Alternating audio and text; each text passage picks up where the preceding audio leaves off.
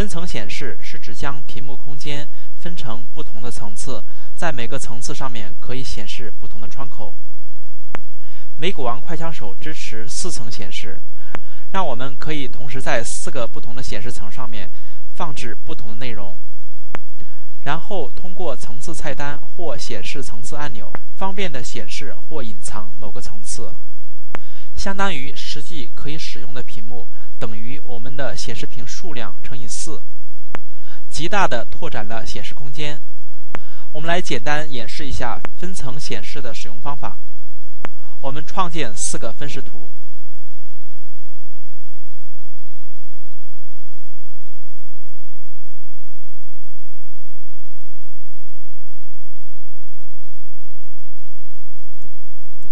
现在这四个窗口是有重叠的，我们来设置分层显示。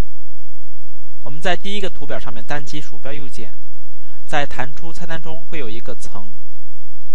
在美股王快枪手里面，每个窗口的右键菜单里面都有这一项，不管是图表、报价表、扫描器、模拟交易还是美股直播，这里就是用来设置这个窗口所属的显示层次的。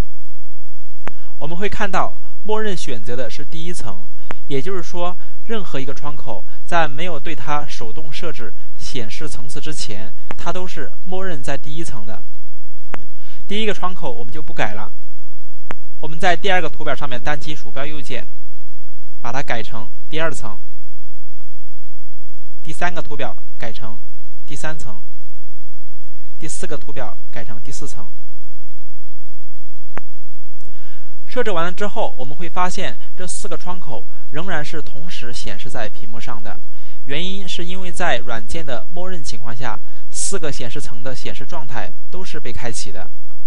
我们可以看到，在层次菜单里面，四个层次都是被勾选的，显示层次的四个按钮也都是被按下的状态。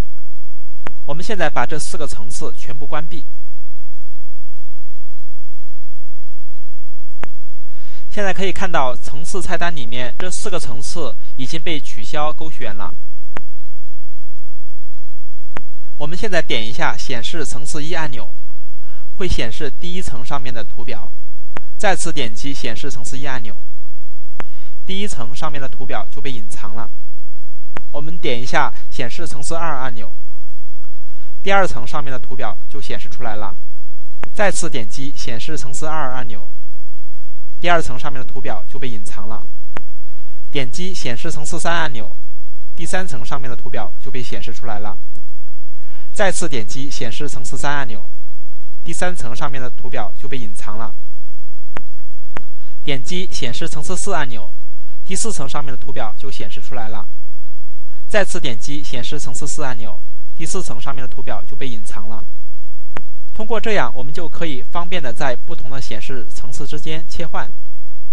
以上就是显示层次的设置方法。我们再来看一个显示层次设置的例子。我们打开之前保存的某个布局，这个布局中已经设置了四层显示。我们可以看到，第一层中显示的是美股直播、经济指标和大盘的走势。第二层放了两个扫描器和六个图表，来扫描做涨和做跌的股票。第三层放了一个报价表和六个图表，用来查看自己熟悉的股票。